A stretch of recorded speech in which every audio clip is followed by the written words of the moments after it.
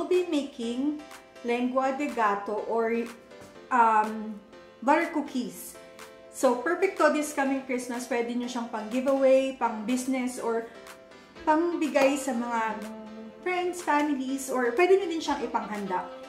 So, and I will, uh, ipapakita ko sa inyo kung paano siya i-package para medyo maganda siya or presentable siya. So, let's start. So, for the ingredients, we will be needing 1 cup softened butter, 1 cup of sugar, 4 pieces of egg whites, half a teaspoon of salt, 1 teaspoon of vanilla extract, and 2 cups of cake flour sifted. So ngayon guys, kukuha tayo ng bowl and then ilalagay natin tong ating um, 1 cup ng butter. I-cream natin siya together with the sugar and the salt. Yeah, so we will cream it for about 2 minutes. Much better if uh, soften yung butter nyo para maganda yung uh, pagkaka-cream ng ating butter. And then we will put the sugar.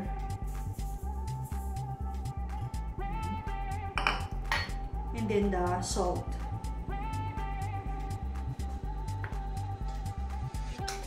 So, we will use this uh, mixer First ay, lalagyan muna natin siya sa low. So, hindi pala siya nakasaksak. Sorry. ay, nako. So, yan. Pini-cream natin siya.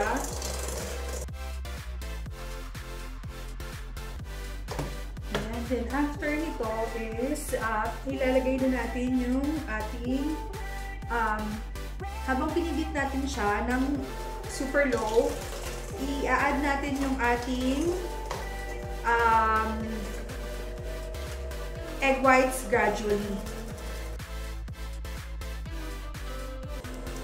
And then, yung ating uh, vanilla extract.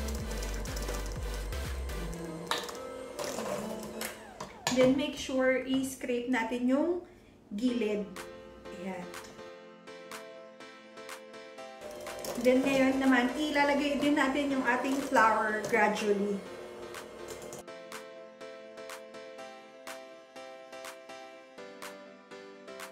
And then, uh, i-mix lang natin siya hanggang well incorporated na lahat. And then, ilalagay natin siya sa ating piping bag para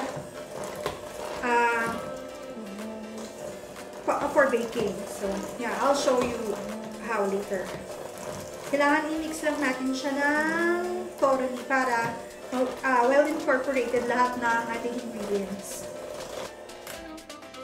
So yan, ganyan yung consistency. So yan, let's go! So ito yung piping bag natin. And ang uh, yung tip is yung pastar. So yan yung um, piping bag.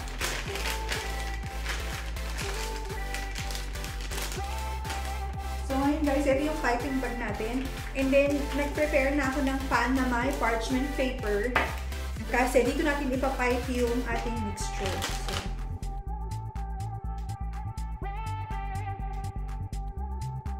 kailangan i-push natin pababa. And then guys, ito, ipapipe na natin. Ayan.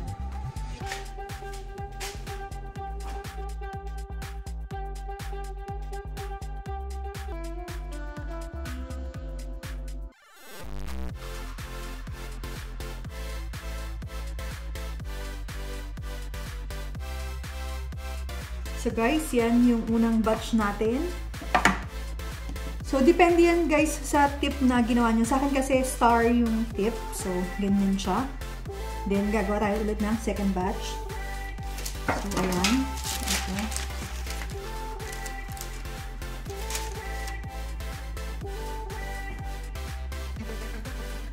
So, ito yung second batch.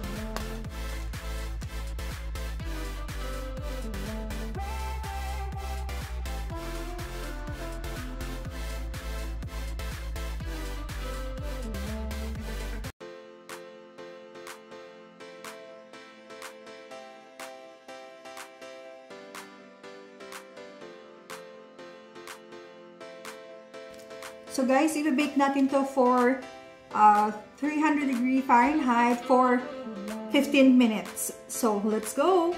Let's bake it! So, ngayon guys, ito ka, uh, kakaalis lang natin ito sa oven. So, much better if um, kunin nyo na siya habang medyo mainit-init pa. Then, transfer nyo siya sa cooling rack.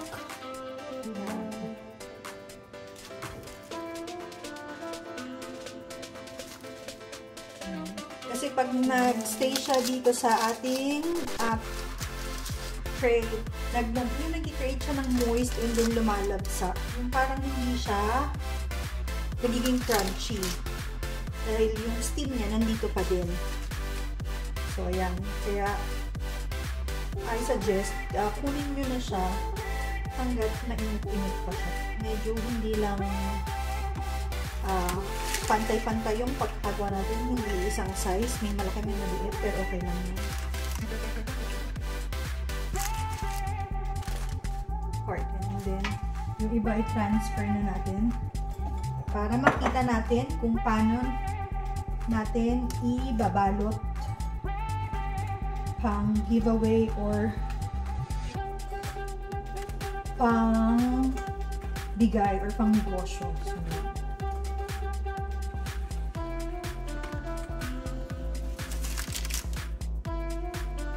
So, yan. And then, ipiprepare na natin kung paano siya i-babalot. Let's go! So, ngayon guys, ito na yung ating finished product. Yan. So, actually, nakaka-lima, uh, nakaka 5 pieces na ako nito habang kakaluto pa lang. Sobrang sarap niya guys. I'm telling you. So, ngayon, uh, gagawa tayo ng packaging nito or ituturo ko sa inyo kung paano mag-package ito ng pang-benta or pang, uh, pang-giveaway. So, meron tayo ditong jar. Actually, nabili ko to sa Dollarama for $2. So, yan. And then, gawa tayo ng actually, hindi pantay-pantay yung pagkakagawa natin. May malalaki, may maliliit. So, okay lang yan.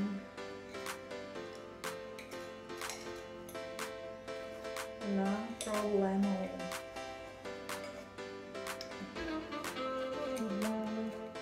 So, ayan. Maganda din yung hindi pantay-pantay. So, ayan siya. And then, i-close na natin. So, sobrang haba. Palitan natin.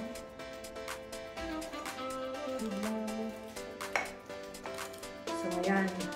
So, diba? And then, meron akong kasi yung pinagawa, I think 2 years ago. Yung ribbon na may name. Ayan. So, ito siya. Happy Holidays from, yan, yung pangalan namin. So, ayan.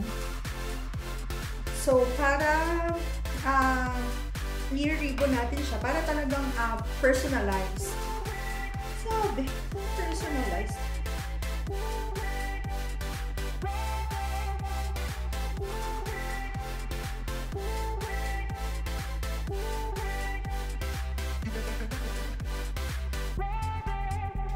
So, ayan na.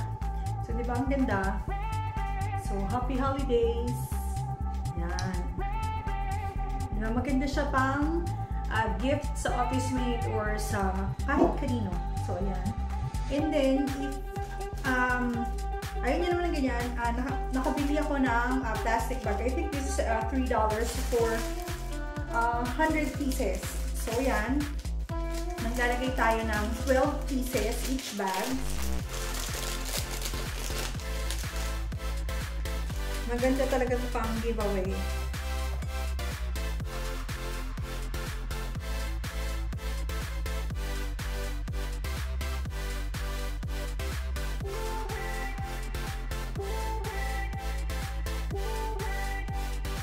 Ngayon naman guys, titikman natin yung ating um, lengua.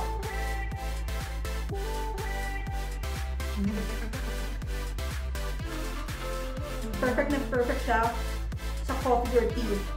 Promise. And yung cooking time niya is, if 300 degree Fahrenheit, it'll be around 17, ano, 15 to 17 minutes. Yun. Iintayin nyo lang siyang mag-golden brown ng ganito. Ayan, yung medyo magka-brown yung yung gilid. And then, super crunchy niya. Sobrang yummy.